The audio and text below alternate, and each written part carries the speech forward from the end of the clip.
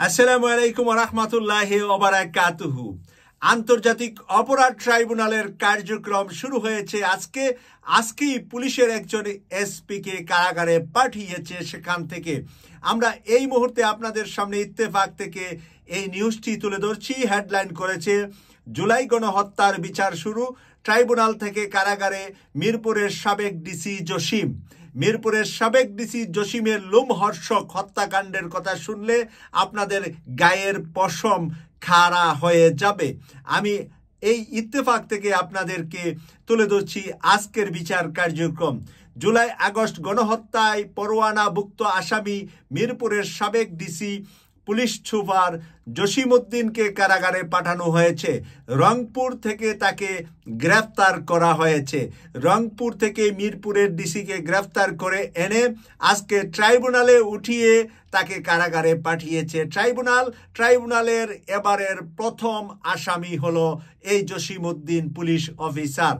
বুধবার তিরিশে অক্টোবর বিকাল সাড়ে তিনটার দিকে পুলিশি পাহারায় তাকে রংপুর থেকে এনে আন্তর্জাতিক অপরাধ ট্রাইব্যুনালে হাজির করা হয়। রংপুর থেকে ওকে এনে আন্তর্জাতিক অপরাধ ট্রাইব্যুনালে হাজির করা হয়। নতুন করে গঠনের পর এই প্রথম কোনো আসামিকে ট্রাইব্যুনালে হাজির করা হলো।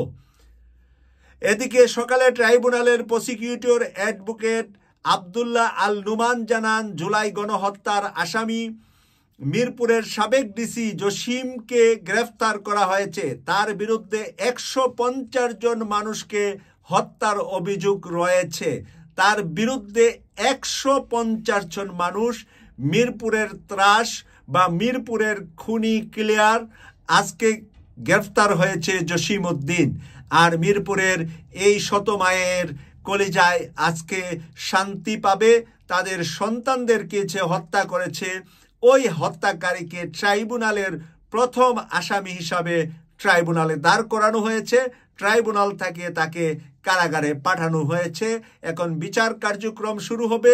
আমরা মনে করি সর্বোচ্চ শাস্তি, মৃত্যুদণ্ড আর ফাঁসির মাধ্যমে আমাদের সেই মিরপুরের শত শত মায়ের বুক খালি করা এই খুনির বিচারের মাধ্যমে তারা তাদের আত্মায় কিছুটা হলেও শান্তি পাবে। গত তেরোই আগস্ট প্রেসিডেন্টের আদেশক্রমে উপসচিব মোহাম্মদ মাহবুবুর রহমান শেখ স্বাক্ষরিত পৃথক বিজ্ঞাপনে মোহাম্মদ জসিমউদ্দিনকে রংপুর রেঞ্জ ডিআইজি কার্যালয়ে সংযোগ করা হয়।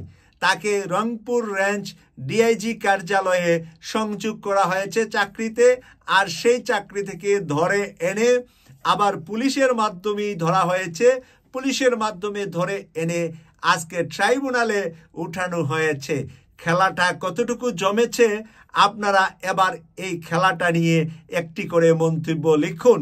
পুলিশকে দিয়ে পুলিশের বিচার, কাটা দিয়ে কাটা উঠানো শুরু হয়েছে মাত্র।